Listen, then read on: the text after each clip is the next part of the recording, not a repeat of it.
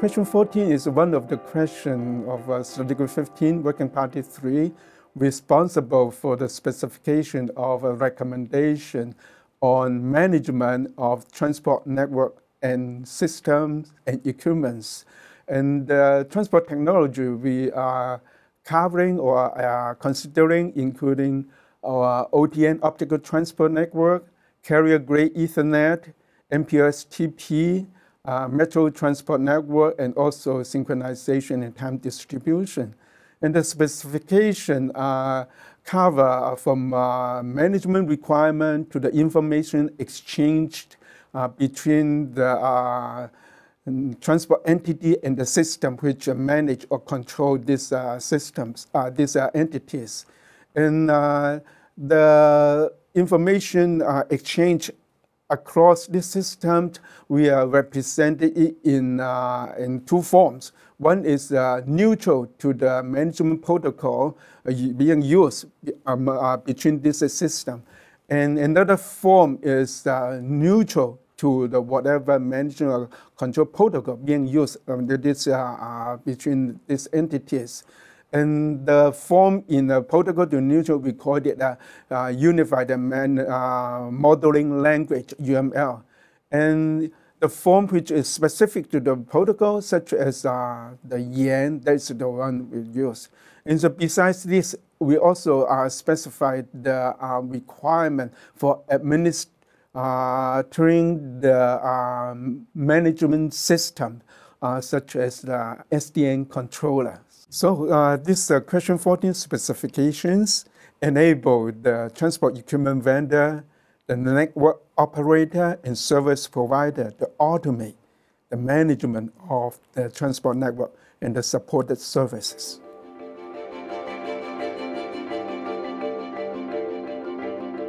One of the things that we do in question 14 is we do a lot of work with network management for transport equipment, like Kam was saying.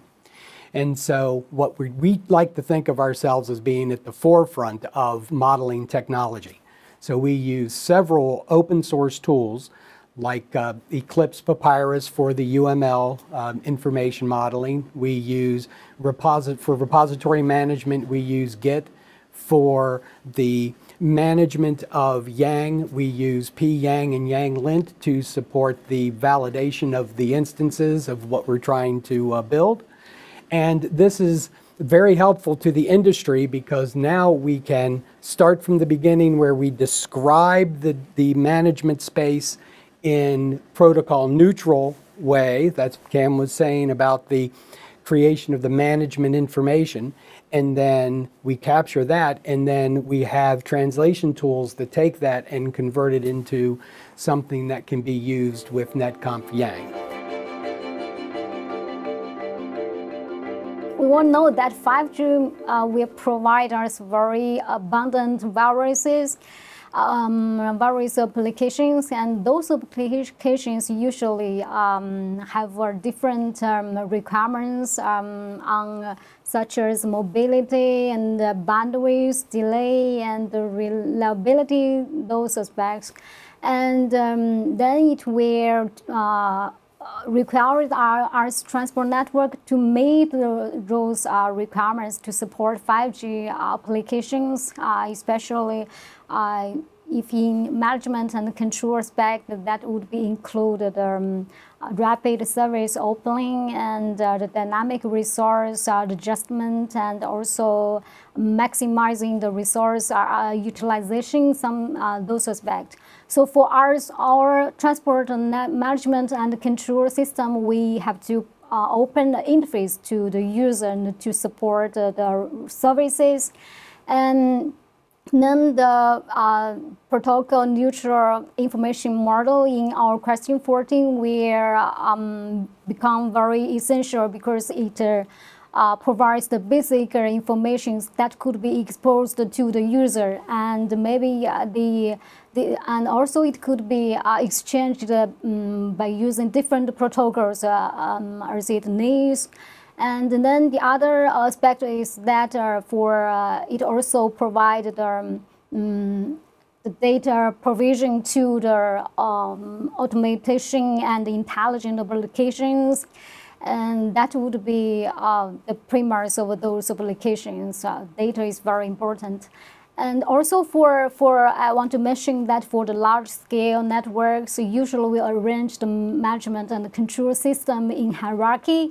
And in these cases, the standardized uh, modeling will uh, reduce the, uh, the complexity between the different levels or systems. That would be very helpful for and uh, so uh, those aspects are very important for our transport network to support 5G. So uh, we encourage uh, companies to join us and to contribute to the industry.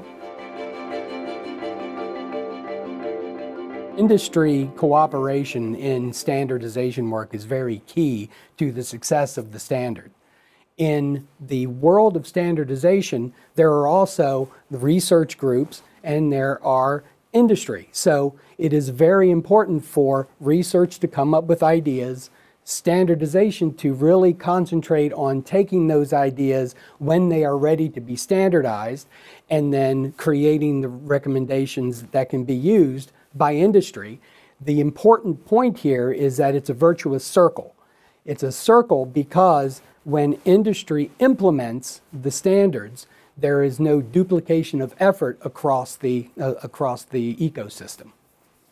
The industry nowadays are paying much attention to the network automation. The premise is that the, the data is our uh, question 14, uh, the, the standards models uh, can provide the, uh, the, the, or the specific uh, um, data is for the uh, network um, operation and maintenance uh, automation and, and some more intelligent uh, applications.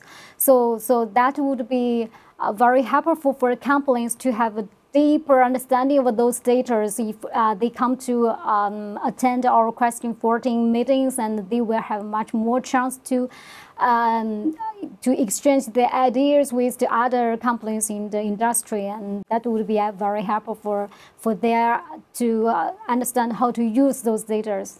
ITU-T provide excellent environment, facility, and platform to support us, question 14, to collaborate internally, externally with the stakeholders. Uh, internal, I mean the uh, sector members, state members, and uh, external uh, stakeholder, I mean the other SDO or forums through, for example, liaison, communication, things like that. So this is an excellent environment. So I, we welcome people to join us to progress the standards work, which will benefit everyone.